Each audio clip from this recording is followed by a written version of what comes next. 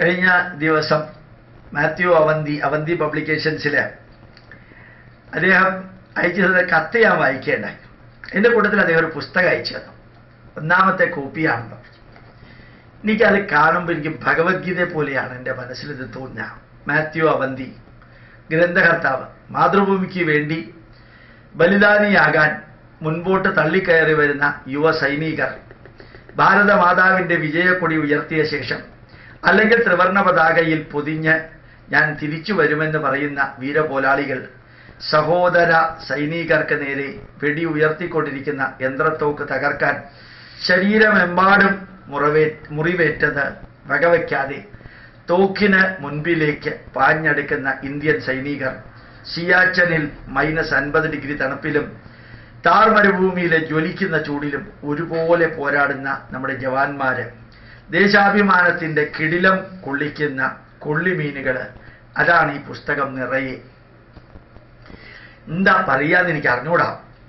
ആക്തിഗംഭീരമായിട്ടുള്ള പുസ്തകമാണ് ഇത് ശരിക്ക് പറഞ്ഞാൽ ഇതിന്റെ സെയിൽസ് ഡിപ്പോ എന്ന് പറയുന്നത് Parambithara cross road. Parambithara cross road. ഓർമ്മിക്കാൻ ഞാനിത് ചുവട്ടിൽ എഴുതാം. പറമ്പിത്തറ ക്രോസ് റോഡ് പനമ്പിള്ളി നഗർ എറണാകുളം മുപ്പത്തി ആറ് email Avanty books at Gmail dot com A V N T Y Avanty A V A N T Y ആണ് Avanty books at Gmail dot com ഇതിൽ land ഫോണിലെ number Ernakulam കോഡാണ് zero four eight four two three one three six four zero two three one three six four zero എറണാകുളത്തെ S T D code അതിലെ mobile number nine double four six five seven two seven nine three.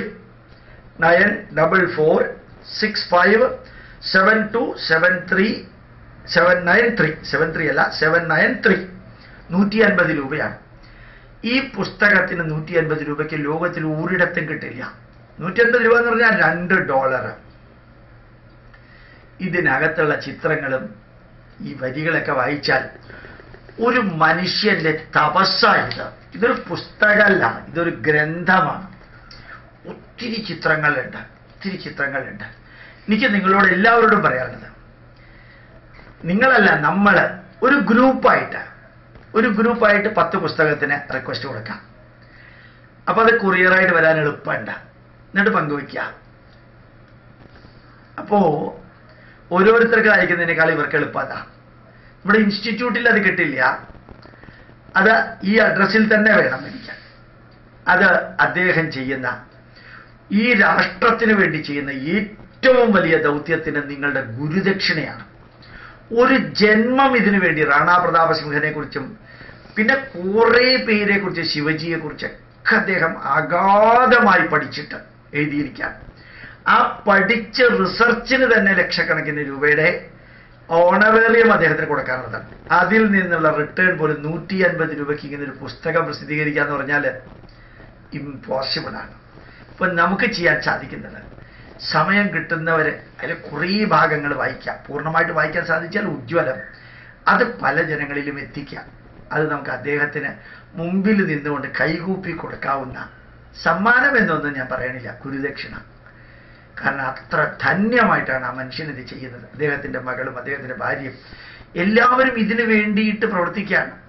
നമുക്കൊക്കെ അറിയാവുന്ന വിഷയങ്ങൾ ഇത്രയും വലിയൊരു പുസ്തകത്തിൽ എഴുതണമെങ്കിൽ എത്ര ദിവസം വേണമെന്നറിയാം. അറിയാവുന്ന വിഷയങ്ങൾ ഇദ്ദേഹം കണ്ടെടുത്തിട്ട് വേണം അതൊക്കെ അന്വേഷിച്ച് കണ്ടുപിടിച്ചിട്ട് വേണം ഇതൊക്കെ എഴുതാൻ.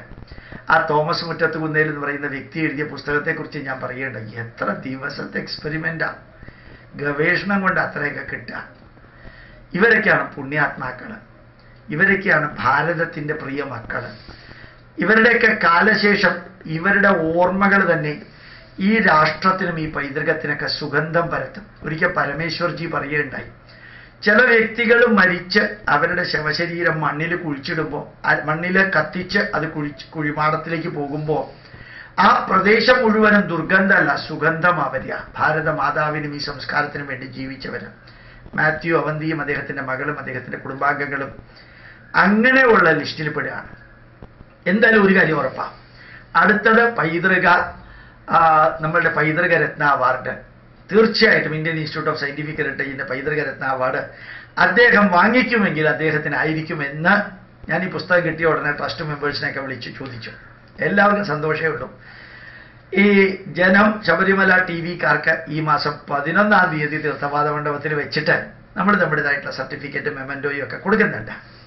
അതുപോലെ മാത്യു അവന്തിക്ക് അദ്ദേഹത്തിന്റെ മകൾക്കും കൂടി ചേർത്ത് ഒരു ഉഗ്രൻ സർട്ടിഫിക്കറ്റും മെമന്റോയും എല്ലാം നമ്മൾ കൊടുക്കാൻ തീരുമാനിച്ചു. ഡേറ്റ് അദ്ദേഹത്തിന്റെ സൗകര്യം അനുസരിച്ചിട്ട് തീരുമാനിക്കുമെന്നും അറിയിക്കുന്നു. വളരെ സന്തോഷമുണ്ട്. എന്താ പറയുക മനസ്സിലെ വികാരത്തിനെ മെഷർ ചെയ്യാൻ സാധിക്കുമായിരുന്നെങ്കിൽ ഞാൻ പറയുമായിരുന്നു നൂറ്റി ഡിഗ്രി വികാരം ഉണ്ടെന്ന് അങ്ങനെ പറഞ്ഞാലും ആൾക്കാർക്ക് മനസ്സിലാക്കാൻ സാധിക്കില്ല. ഉണ്ട്. പ്രണാമം നമസ്കാരം.